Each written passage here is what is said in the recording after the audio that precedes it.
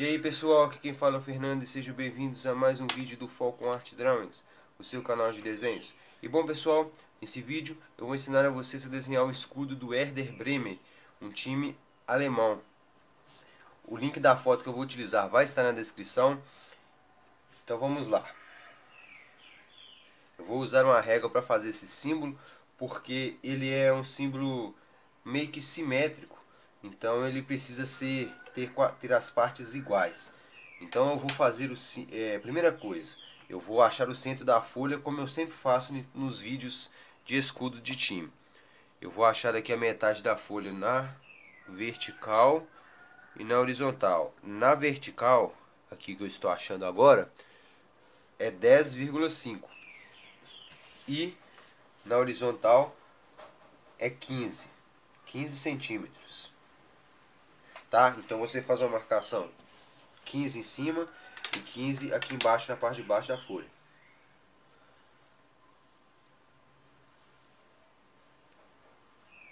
E aqui na lateral também você faz, aqui você faz com 10,5.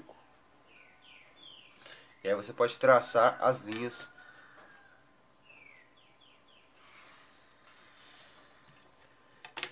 Pode traçar bem fraco as linhas, tá? Não precisa ser forte.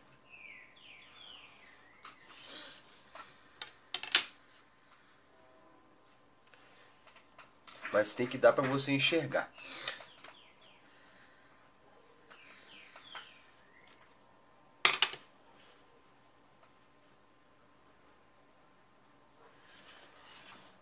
Beleza. Eu vou fazer esse escudo com 17 centímetros na vertical. Então, eu vou ter que colocar a régua aqui na metade de 17, que é 8,5. Então vamos colocar aqui 8,5 exatamente nessa no centro aqui desse, no cruzamento dessas linhas e aqui eu coloco 8,5 faço um traço aqui no zero e faço um aqui no 17 Deixei os dois pontos marcados. Agora eu vou achar aqui do lado. Aqui do lado eu vou fazer com 12. Eu vou fazer aqui com 12. Então eu coloco o 6 no centro aqui. Marco no 0 e marco no 12. Aí os pontos já estão todos marcados. Agora é só traçar a linha ligando esses pontos.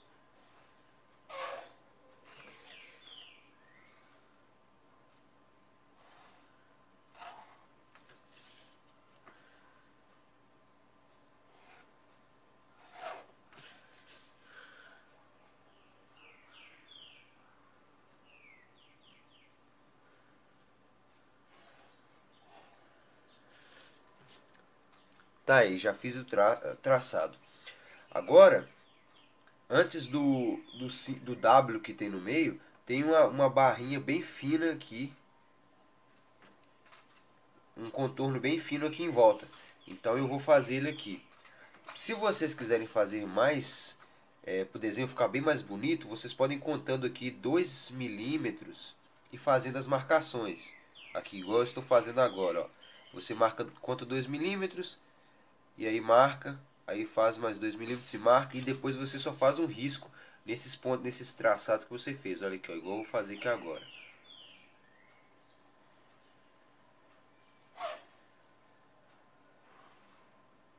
Aí ele vai ficar certinho.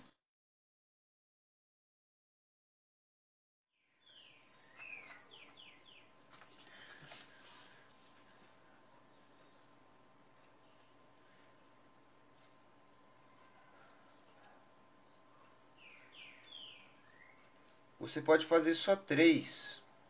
Só três traçados que já dá para você riscar. Eu fiz três, tá vendo? Fiz três traçados e agora dá para me riscar já completo.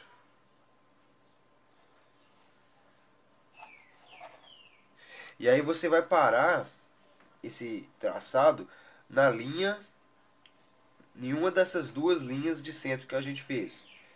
Então eu fiz uma aqui, e aí eu parei nessa linha vertical. Agora o traçado que eu vou fazer daqui para cá, eu vou parar na linha horizontal.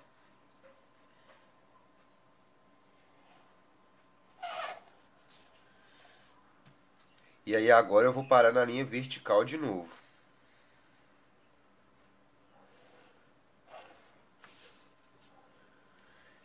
Tá pronto, fiz o contorno em volta. Agora eu tenho que soltar um espaço aqui também.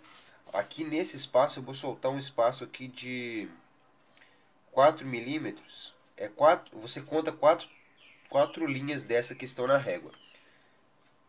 E aí eu vou fazer o traçado aqui de 4 milímetros. Eu marco três pontos. E aí eu posso ligar.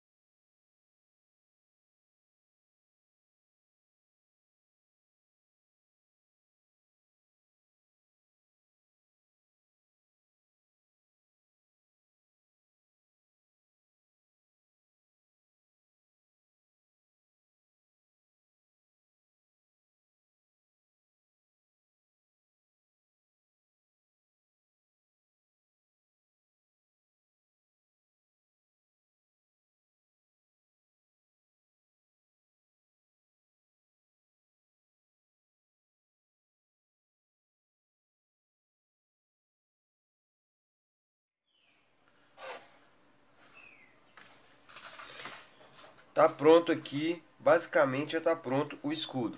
Agora só está faltando um W que tem aqui no meio. Eu já vou fazer ele aqui à mão livre, não vou usar a régua.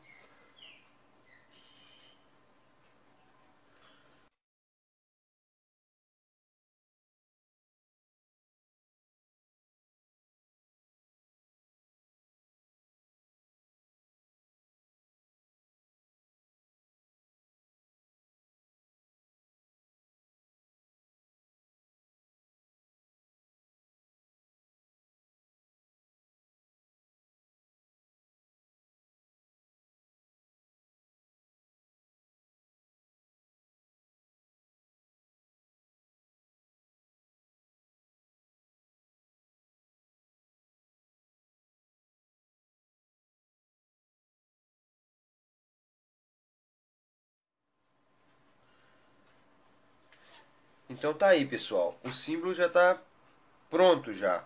Agora é só colorir é, as partes. Agora é só colorir as partes aqui do desenho. O que, que eu vou fazer? Eu vou apagar essas linhas aqui de levinho. E aí eu vou colorir por cima. Por que, que, eu, tô, que eu vou apagar? Porque se eu colorir com lápis verde por cima, as linhas que eu fiz com a lapiseira, elas vão ficar um pouco mais fortes do que a cor verde. Então vai ficar parecendo que o símbolo é verde e preto. Agora, se eu apagar, aí o, o verde vai ficar, só, vai ficar só o verde. E aí não vai atrapalhar nada, não vai ficar nada preto em volta do verde. Então eu estou apagando de levinho aqui. Talvez não, deixe, não esteja dando para vocês verem na câmera aí, no, no vídeo, é, as marcas que eu, que eu fiz aqui do desenho. Mas eu estou enxergando tudo aqui.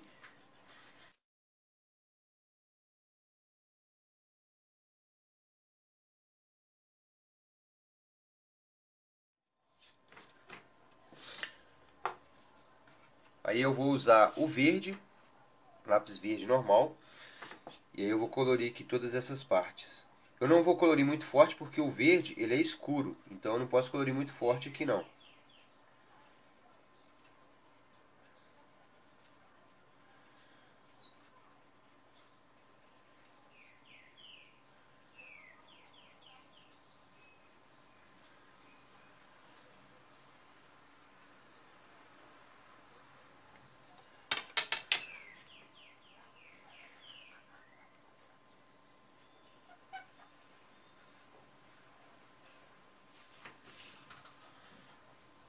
Vocês podem usar a régua igual eu vou fazer aqui também, ó. Que é melhor. Que aí vocês traçam o, o que vocês vão colorir com verde. E aí você sabe até onde você vai parar. Não vai sair fora do, do, do não vai sair fora da marcação do desenho.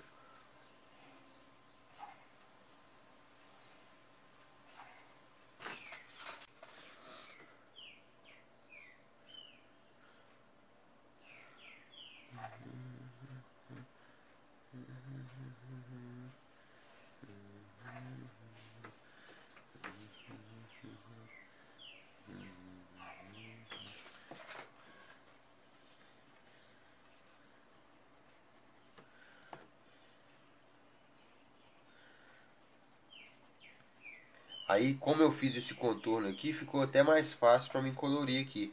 Eu não tenho, aqui não tem problema é, de sair para fora do colorido. Sair para fora assim do, da marcação.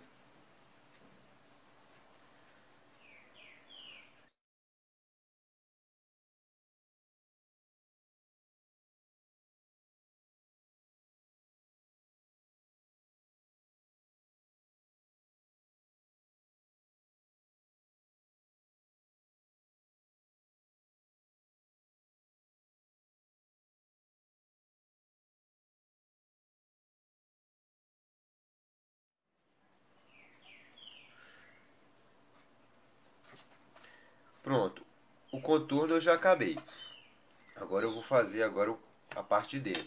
Eu vou fazer a mesma coisa, eu vou contornar aqui fora, essa parte aqui. Eu vou fazer o contorno todo de verde. E aí depois eu começo a colorir por dentro. Só que é, eu sempre falo nos vídeos é que quando você for colorir uma parte grande assim, colora numa posição só. Porque se você colorir em muitas posições, em várias posições diferentes, vai ficar ruim o desenho. Então aqui, ó, desse jeito que está aqui, eu vou colorir só para cima e para baixo, até acabar o desenho. Então, para cima e para baixo aqui tudo. Não vou mudar de, de posição para o lado, na diagonal, não vou. Vou ficar assim até o final do desenho. Então, olha só para vocês verem. Vou colorir aqui para cima e para baixo em tudo. Não vou fazer para o lado, não vou fazer na diagonal. Vou ficar para cima e para baixo até acabar o desenho.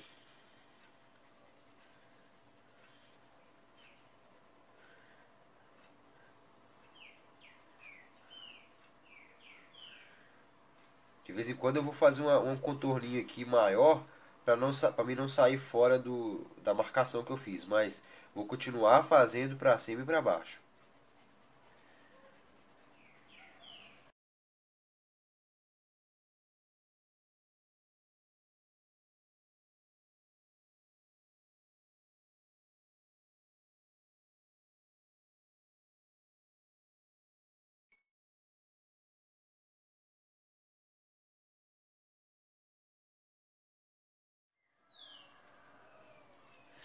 Então pessoal, tá pronto aí o escudo. Agora a última coisa que eu vou fazer para ficar mais bonito esse colorido é passar o branco. Porque o branco ele, ele espalha o colorido que você faz e aí a pintura fica bem mais lisa, bem mais bonita.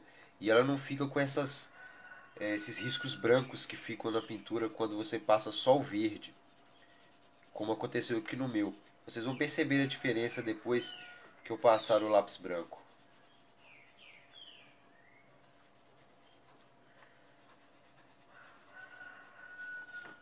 Aqui, ó, agora eu vou começar a passar nessa parte. O lápis branco ele é feito para passar em cima de outros lápis. Então você colore com azul e aí você passa o lápis branco. Aí você colore de vermelho. E ele é feito para passar em cima de outros lápis. Então, aqui ó, Percebam a diferença dessa parte que eu colori com lápis branco e dessa que eu colori só com verde. É, quando eu passo o lápis branco fica muito mais bonito.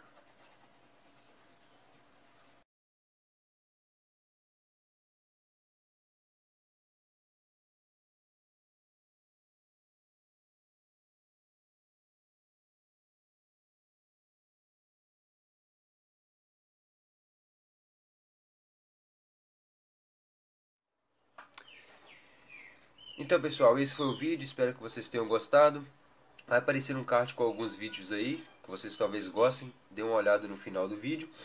Obrigado por assistirem e até o próximo vídeo.